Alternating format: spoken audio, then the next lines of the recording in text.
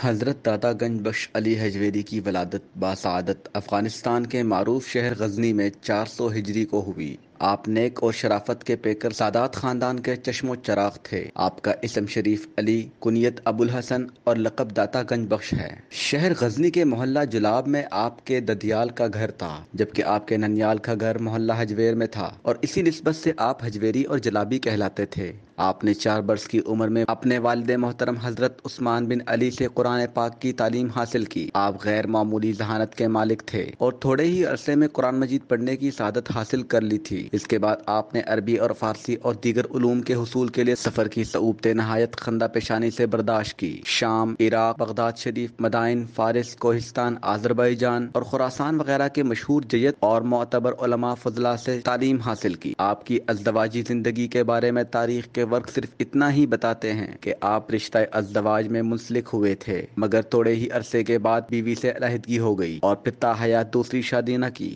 مرشد کریم حضرت شیخ ابو الفضل نے حضرت داتا گنج بخش علی حجویر کو حکم فرمایا کہ علی تم لاہور روانہ ہو جاؤ۔ وہاں تمہاری شدید ضرورت ہے۔ سرزمین ہند تمہارا انتظار کر رہی ہے اور تمہارے فیض کا سلسلہ لاہور ہی جاری ہوگا۔ آپ نے ایک لمحے کے توقف کے بعد معدبانہ انداز سے عرض کیا کہ حضور وہاں تو ہمارے پیر بھائی اور آپ کے مرید کامل حضرت میرا حسین زنجانی موجود ہے۔ ان کے ہوتے ہوئے میری وہاں کیا ضرورت ہو سکتی ہے؟ شیخ ابو الفضل خطلی قدرے مسکرائے اور فرمایا کہ یہ تمہارے سوچنے کا کام نہیں، بس تم فوراً روانہ ہو جاؤ اور دین اسلام کی ترویج و اشاعت کا کام کرو۔ آپ نے اپنے پیر و مرشد کے حکم کی تعمیل کرتے ہوئے اپنے وطن غزنی کو خیر بات کہا۔ اور دین اسلام کی تبلیغ کا بے مثل شوق لیے کئی مہینوں کے دشوار گزن کٹن راستوں کے کٹن سفر کے بعد لاہور پہنچے۔ شہر کے داخلی دروازے تک پہنچتے پہنچتے شام ہو گئی۔ شہر کی حفاظت کے پیش نظر داخلی دروازے شام کو بند کر دیے جاتے تھے۔ اس لیے آپ کو اپنے دیگر ساتھیوں اور مسافروں کے ہمراہ رات بیرون شہر ہی بسر کرنی پڑ گئی۔ جب صبح ہوئی تو شہر شہر کی جانب روانہ ہوئے۔ ابھی چند ہی قدم چلے تھے کہ سامنے سے ایک بہت بڑا ہجوم آتا ہوا نظر آتا ہے۔ قریب آئے تو معلوم ہوا کہ یہ ایک جنازہ ہے۔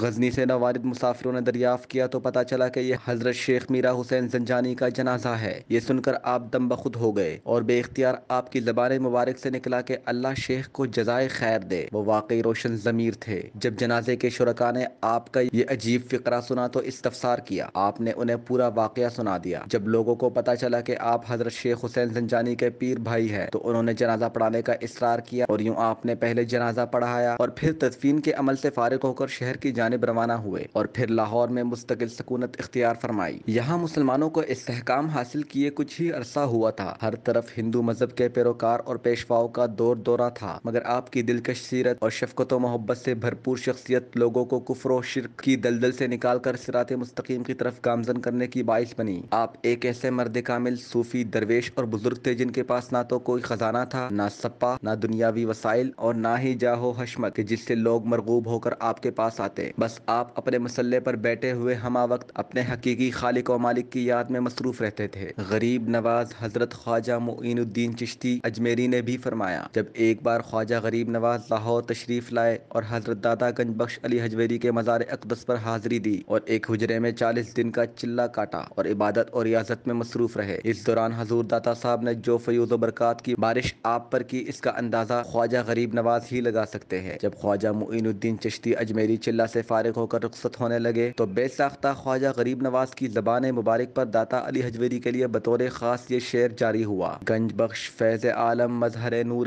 خدا ناقصارا پیر کامل کاملارا رہنما۔ اس مرد خدا کی زبان مبارک سے نکلا ہوا یہ شعر اس قدر زبان زد خاص و عام ہوا کہ جس کی گونج چاروں سو پھیل گئی اور لوگ آپ کے آستانے سے فیض پانے لگے۔ حضرت داتا گنج بخش علم و معافرت کے ہزاروں دیے جلا کر آخرکار انیس سفر ایک ہزار ستائیس عیسوی کو وصال فرما گئے۔ آپ کا سالانہ عرص مقدس انیس سفر کو انتہائی عقیدت و احترام اور شاعر شان طریقے سے منایا جاتا ہے، جس میں نہ صرف پاکستان بھر سے بلکہ بیرون ممالک سے بھی آپ کے عقیدت مندوں کی کثیر تعداد شرکت کرنے کا شرف حاصل کرتی ہے اور فیض پاتی ہے۔